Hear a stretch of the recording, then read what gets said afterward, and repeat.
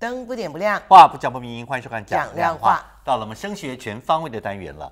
我们这一集一直在讲说什么好学区啦，或如何申请大名学、校名校。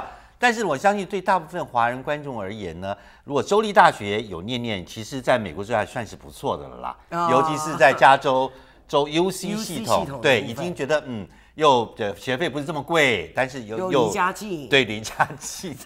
所以呢，但是呢，UC 在这个整个学校的所谓的要进申请进入的门槛呢，其实各个 UC 有各个特质不同，嗯，是不是？对，今天呢，我们的教育专家、哈佛全方位的 Vicky 张主任来到节目中，叫我们告诉我们一下，二零一四年这个 UC 加大这个录取的一些相数据，我们用数字来说话。对嗯，欢迎张主任。你们好，各位家长，你们好。好，来，二零一四一些这个 UC 系统的这个所谓申请的数据分析，那哪些 UC 比较好记，哪些比较难记？对，其实呢，数字会说话哈。嗯那去年 UC 公布这个这个呃录取数字，我觉得他们是偷偷摸摸的在公布。偷偷摸摸为什么要偷偷因为如？果大大方方敲锣打鼓，我觉得可能很多人会有点不高兴。对对对。平衡等一下，我们来告诉你为是是是。什么对嗯，那你刚刚提到说哪个比较好进，哪个比较难进？其实呢，呃，以录取上来讲，录取率最低的呢还是 UC Berkeley。UC Berkeley 整个的录取率呢，就是呃，其实它每年都在往下降，然后呢。今年呢，其实 Berkeley 的呃申请人数又增加了大概三个 percent，那 UCLA 也不遑多让，它现在申请人数超过十一万了。哇，在几年，在呃五六年前，可能还是来两三万，现在已经、对多少几千倍的成长因？为外外来的移民多，是不是？呃那些都有。还有就是说，因为现在是这个网络申请嘛，所以你可以点点点点，就是像 UC 九个分校是用一个申请表，你只要付申申请费就好了就。一口气全部都送了。对，所以就是说，这整个来说都会造成它的这个录取率，像 UCLA、UC Berkeley 现在都是在十七 percent、二十 percent 左右。其实，在以前都是大概还有三十 percent，那就 一直往下降。对，其实整个 UC 哈，今年的这个申请人数都增加了六点五个 percent。对，所以你你看啊，这个申请人数一直增加，那录取人数又没有增加的情况下，那只有录取率一直往下掉。对，对啊，所以这个是呃，就是最难进的。那比较好进的的，就是说呃，有一个 UC 的小 baby 叫 UC Merced。啊，可能家长不知道，对，对这是二零零五年才开始招生的啦。那这个 UC Merced 呢，就是现在来讲，那大概就是还有六十几个 percent 的录取率，哦，是因为学校的比较新。OK 然后因为他就是说，嗯。我都会建议家长哦，就是说，如果你呃考虑这个学校，你可以带小孩子去看一下。看看那个学校是在 Yosemite 的山脚下 OK 然后二十四小时都有一种呃，就是说非常 organic 的味道。OK 对，就是说呃，因为它是属于比较偏僻的地方。OK，对，没有零污染。对，但是我我是常常这样讲，哎，you never know，他现在是 UC 的小 baby，也许以后他会发展成 UC Irvine 大巨人啊对你不知道，对不对？因为对现在每个 UC 都那么抢手嘛。那转学生对 UC 来讲，在这个这么多申请的人里面，是不是也占了一定的比例？因为刚刚讲申请人里面，你也包括了转学生，对不对？对对对，其实转学生来讲的话，呃，比较容易进的是 UC Riverside。UC Riverside 大概呃，就是说呃，六十几个 percent 的转学生都有被录取，所以 UC Riverside 的这个呃转学生的机会还蛮高的。那比较难进的这个呃 UC，就是以转学生来说，还是以 Berkeley 为主还。是那是对啦，对啦那比较热门的学校。对，那 Berkeley 它今年转学生的录取是二十五个 percent，但是这个数字在去年是二十七个 percent。还是往下掉？又还是往下掉因为我，本来想说二十五个 percent 比十七个 percent 好一点，对啊但是还是往下掉，还是往下掉。对，所以呢，其实呃，就是说，不管是说转学或是新生的话，Berkeley 都还是比较难一点啦。那讲到这里呢，如果说是外籍的学生，或从外州想要进到加州的 UC 系统的话，那有哪些学校好进，哪些学校不好进呢？对，其实呢，嗯，这个呃法律是有规定说，UC 只能收多少比例的外籍外州学生。虽然大家现在不高兴，但是其实它这个数字还是没有超过那个呃法定的数字，所以呢，你也不能就是说呃硬性规定他不准收这么多。对，但是问题是说这些名额到底分配到了哪些 UC？对。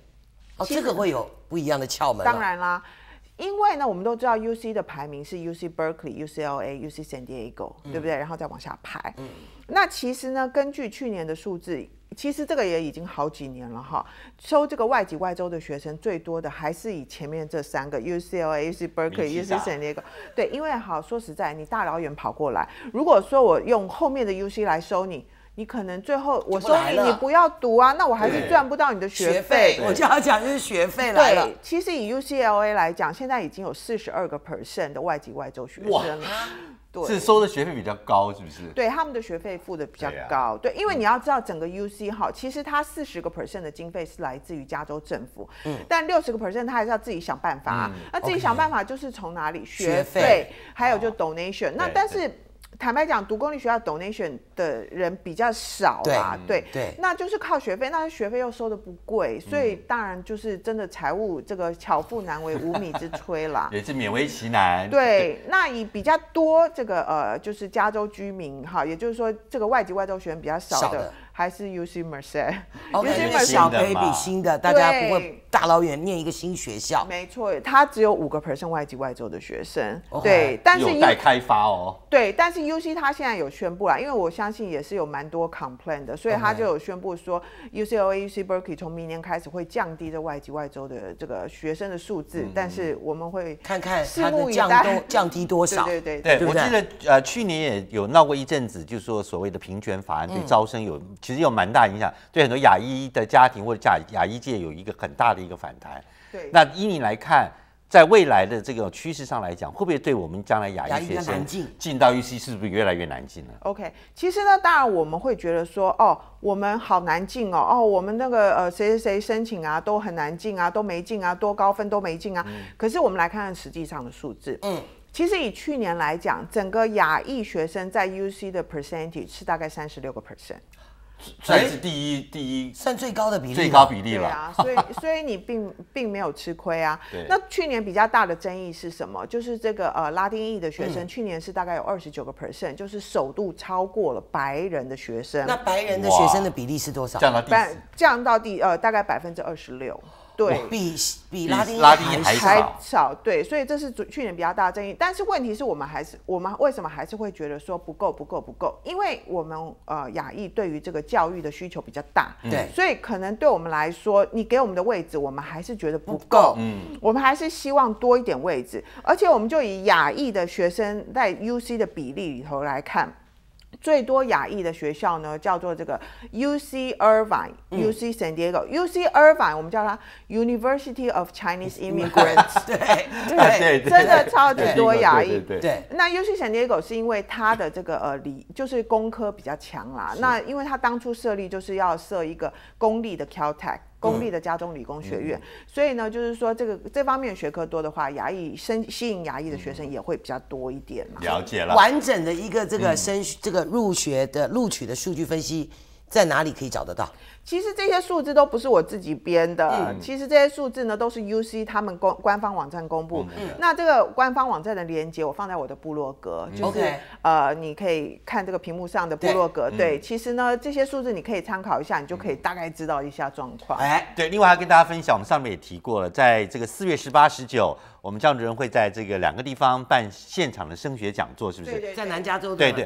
听说现在每一年都是这个爆满，对。对，其实呢，呃，我的讲座，我觉得很多家长都觉得一定要听，因为呢，我一直都觉得说，我要给你最多的资讯，让你了解这件事情。所以呢，其实呃，你来听我讲座，你一定会有收获。嗯，那这两场讲座，一个是在 Expo Center，一个是在尔湾中文学校。那你一定要定位，而且呢，我们这次有很好的一个东西送给你，就是我自己写的大学申请工具书，工具哦，工具书这是最重要的。好的，非常实用。嗯好，谢谢张主任你来到节目谢当中。谢。